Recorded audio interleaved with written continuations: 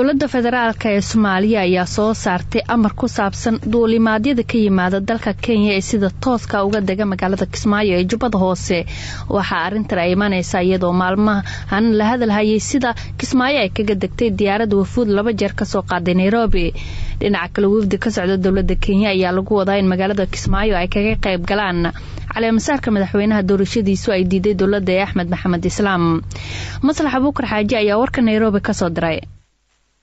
maamulka duulista hawada dowladda federaalk ah ee soomaaliya ayaa waxa ay soo saareen amar cusub oo ku wajahan duulimaadyada tegaya iyo kuwa ka imaanaya deegaanada jubbaland gaar ahaan magaalada kismaayo. Amarka ka soo baxay maamulka duulista hawada ayaa lagu sheegay in la mamnuucay duulimaad kasta oo ka yimaada kenya oo ku socda magaalada kismaayo. Sidoo kale waxaa qoraalka ay iskula hadlaan duulimaadyada lagu sheegay in dayuuradaha aadaya kismaayo ay soo maraan magaalada muqdisho taas oo ahaa go'aan horay u jiray oo mar kale dib loo cusboonaysiinayo.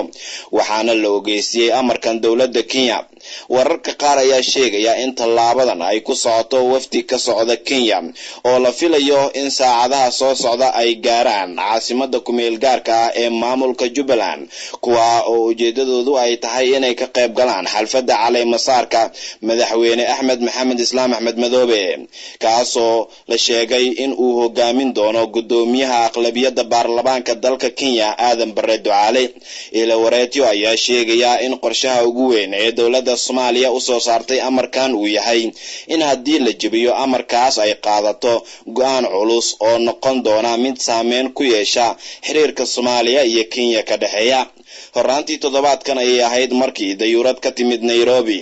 Ay si toos ah uga soo degtay garoonka dayuuradaha kismaayo islamarkaana ay jebisay amarkii ay horey u soo saartay dowladda federaalk soomaaliya. Waxaana ilaa iminka aan la isweydiinayaa sida uu u dhaqangeli karo amarkani dhinaca kale waxaa socota qabanqaabadii ugu dambeysay ee ku aadan wafdiga ka socda dowladda kenya ee ka qaybgelaya xalfadda caleemasaarka madaxweynaha jubbaland axmed maxamed islaam axmed madoobe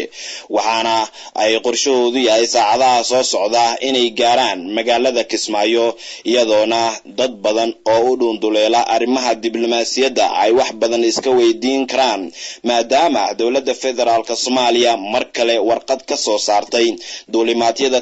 magaalada kismaayo sidaa ay ku suurageli karto in wafdiga ka socda dowladda kenya ay si toosa uga degaan magaalada kismaayo. Maslax abuukar xaaji radio kulmiye nairobi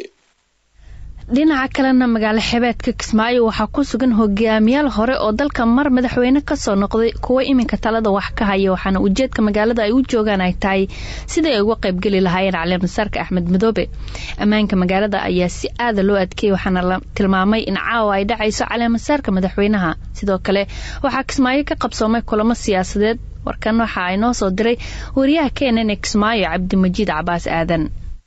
iyadoo ay saacado kooban ka harsan tahay munaasabadda xafladda caleemasaarka madaxweynaha maamulka jubbaland axmed maxamed islaam axmed madoobe ayaa magaalada kismaayo laga dareemayaa diyaar garowgii ugu dambeeyey ee loogu jiro munaasabadaasi magaalada kismaayo ayaa waxaa haatan ku sugan madaxweynayaashii hore ee soomaaliya sheekh shariif sheekh axmed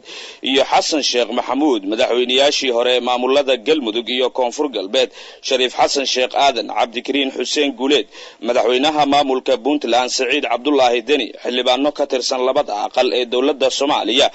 guddoomiye ku-xigeenka ee aqalka sare ee baarlamaanka soomaaliya abshir bukhaari oo dhammaantood kismaayo muddooyinkii ugu dambeeyey soo kala gaarayay si ay ugu qayb galaan munaasabadda xafladda caleemasaarka madaxweynaha jubbaland. Dhinaca kale magaalada kismaayo ayaa maanta lagu wadaa in ay soo gaaraan wafdi ka socda ismaamulka waqooyi bari ee dalka kenya si ay uga qayb noqdaan madaxda ka qaybgelayso xafladda caleemasaarka madaxweynaha jubbaland axmed maxamed islaam ammaanka magaalada kismaayo ayaa aad loo adkeeyey gaar ahaan halka lagu qabanayo munaasabadda xafladda caleemasaarka. Galinkii dambe ee shalay ayaa magaalada kismaayo waddooyinka soo gala iyo baraha koontaroolada magaalada la dhigay. Ciidamo isugu jira nabad sugid iyo boolis. Dowladda soomaaliya ayaa sagaalkii bishan xayiraada duulimaadyada ka qaaday oo in muddo ah ay xayirnaayeen taasi oo marar badan ay sababtay in dib loo dhigo munaasabadda xafladda caleemasaarka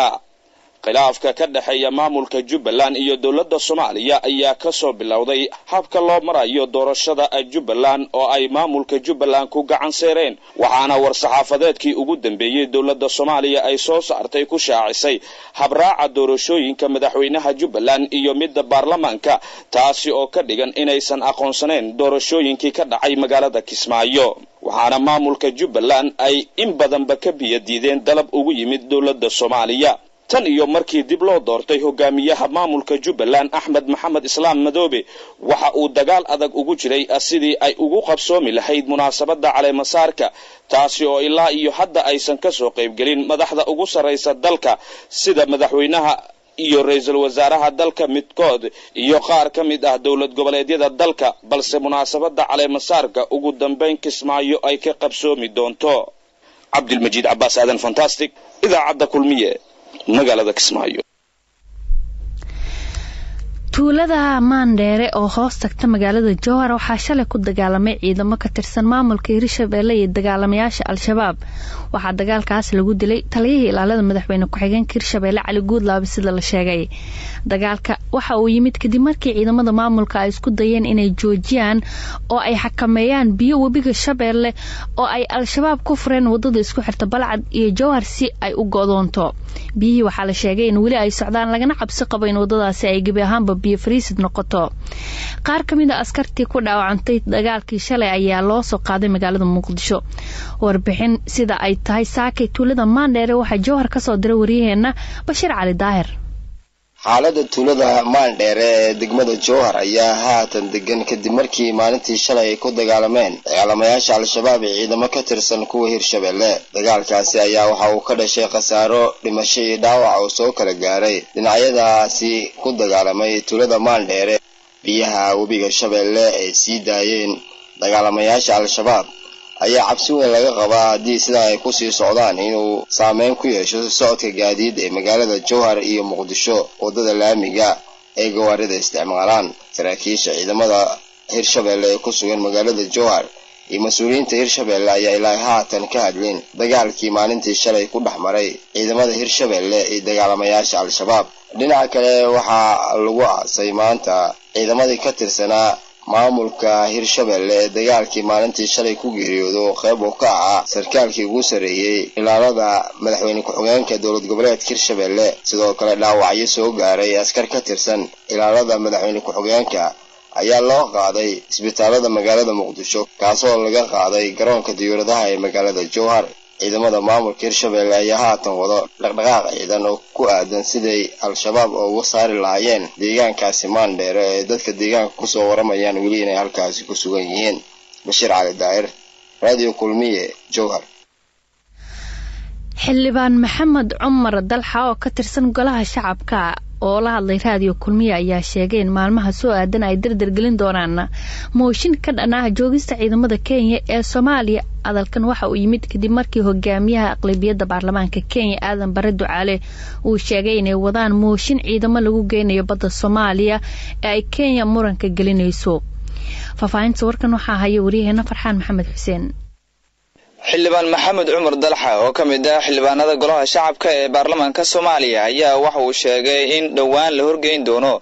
mooshin laga gudbiyey ciidamada kenya kuwaasi oo dhibaatooyin fara badan ku haya shacabka degan gobollada jubbooyinka iyo gobolka gedo. Sidoo kale xildhibaan dalxa waxa uu sheegay in dowladda kenya ay ku xadgudubtay jiritaanka dowladda soomaaliya islamarkaana ay keentay in arrintaasi ay mooshin ka gudbiyaan. Waa dardar gelinteedii iyo xilligii ku habboonaa bay taagan tahay waana rajaynaynaa haddii kenya wax iska bedeli weydo inuu maaragtay mooshinkaasi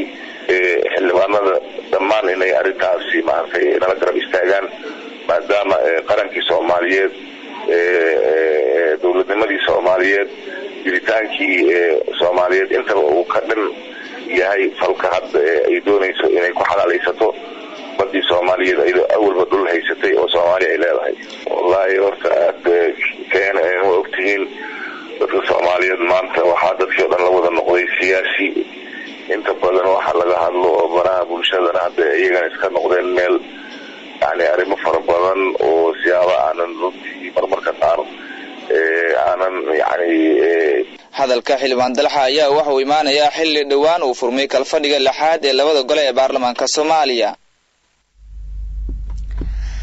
hay'adaha kala duwan ee somalilan islamarkaasina sharciga uu siinayo xubin inay ku yeeshaan guddiga cusub ee doorashooyinka somalilan ayaa madaxweynaha somalilan muuse bixi cabdi u gudbiyey xubnaha guddiga qaar iyadoo lagu wado in madaxweynuhu uu ku dhawaaqo guddigaas